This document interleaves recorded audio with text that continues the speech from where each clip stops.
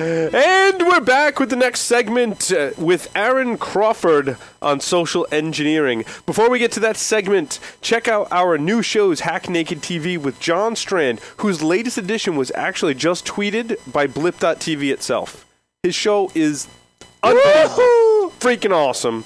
Gotta check that out. Hack Naked at Night with Larry and Darren. all the clowns.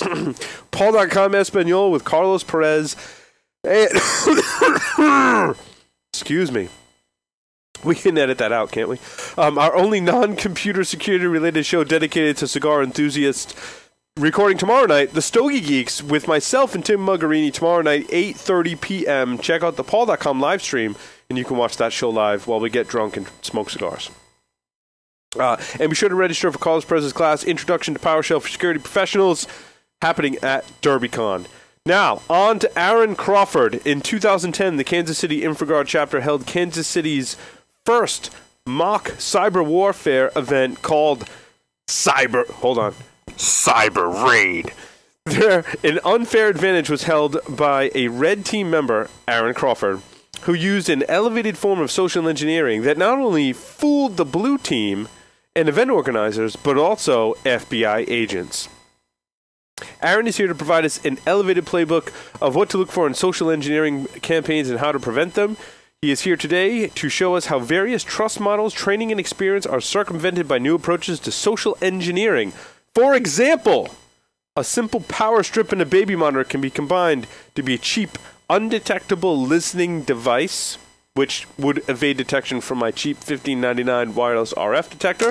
Uh, and USB memory sticks can be used successful. Welcome, Aaron, to the show.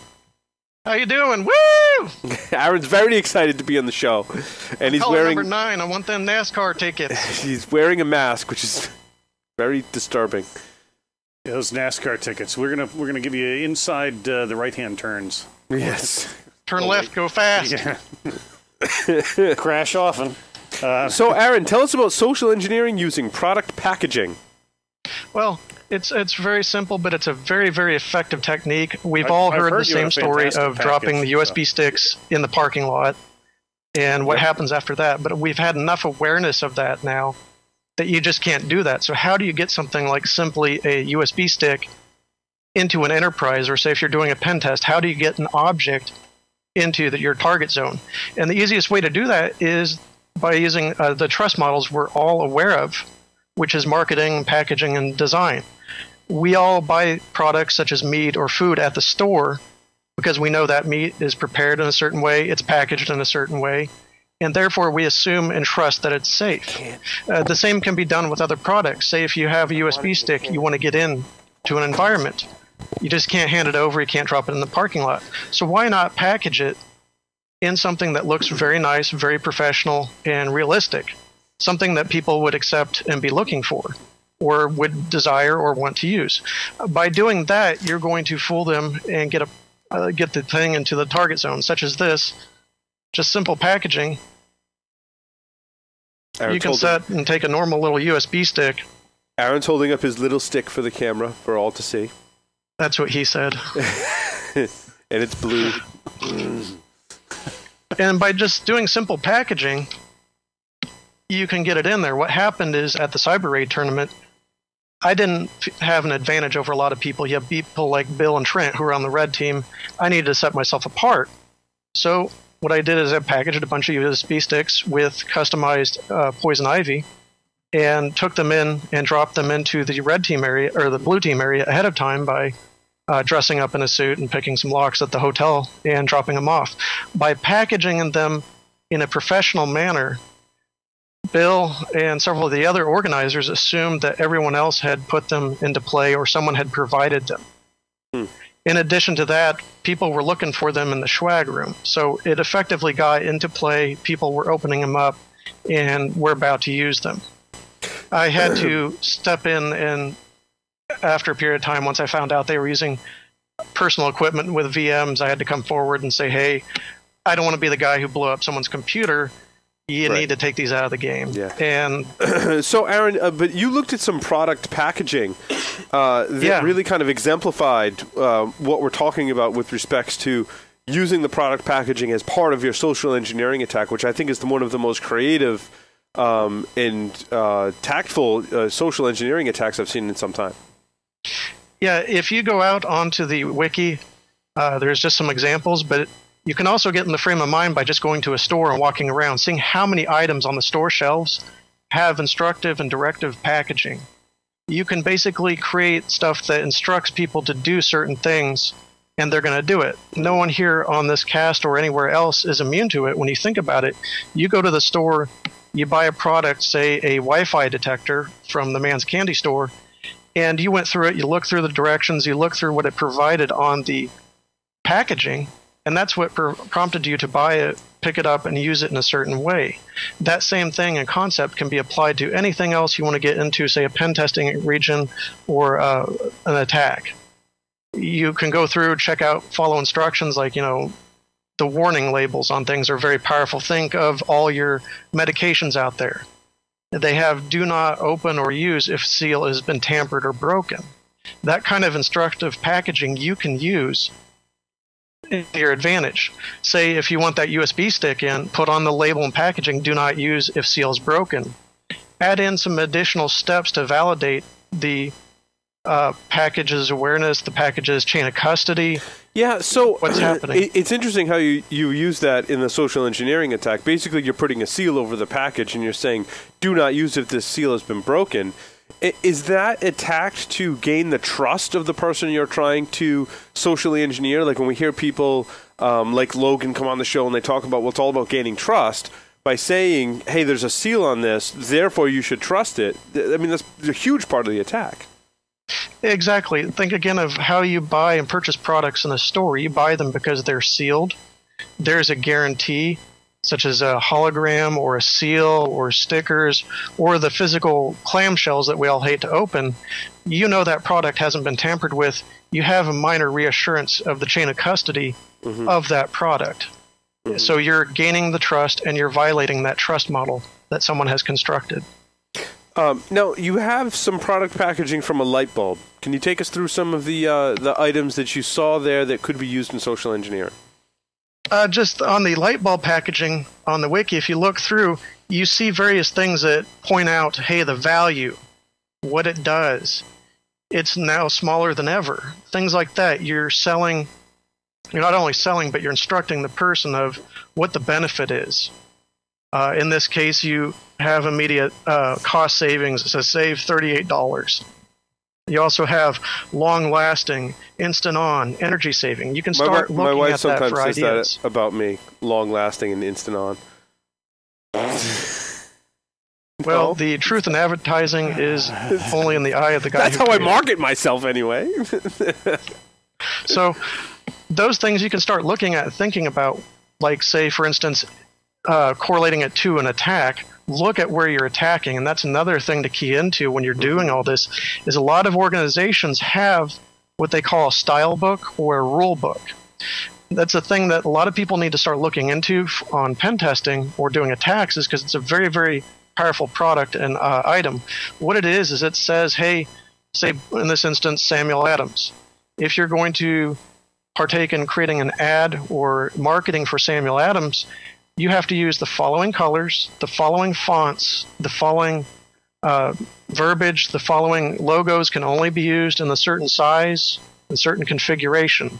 You can find those pretty readily for most organizations, or you can request them from their marketing departments, which are pretty easy to get a hold of and pretty uh, enthusiastic as well with those, you can really center in on how the product for the place you're attacking or the entity you're attacking is designed and what's going to be looking for. Th- think back to a lot of those phishing emails you get that are poorly worded, that use the English and everything.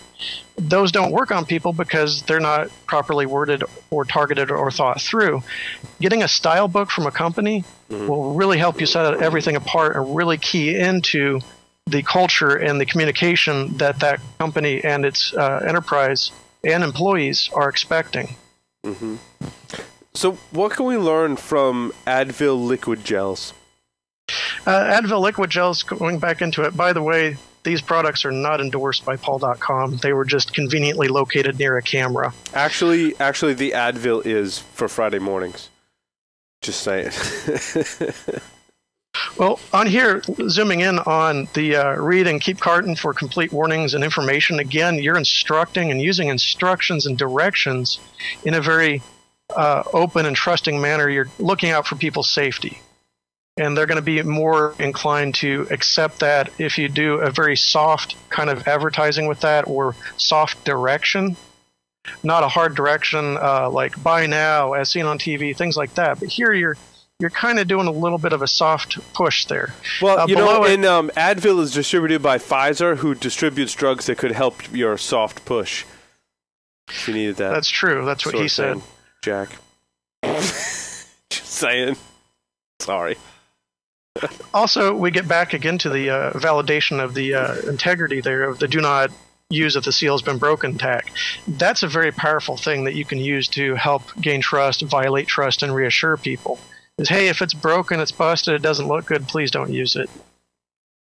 And Right. most people are just going to ignore that, but they're going to see that and subconsciously sit there and go, hey, it's okay. That's another step to saying, hey, everything's fine. And in the case of the uh, cyber raid, it worked quite well. So tell me about uh, Tron Legacy action figures. You have to steal them from your spouse uh, in order to take pictures. Gotcha. Again, here we have warnings on them. Uh, on the first couple, you have warnings about choking hazards, uh, things like that. Again, it's the soft push. You're looking out for safety. You're looking out for the person who's picked up the product. Uh, again, on the uh, Quorra figure, it has a little thing of try me where you could squeeze the action figure and it lights up. If you invoke more of a active push instead of a soft push, where you bring in interaction into the product, that'll help you as well.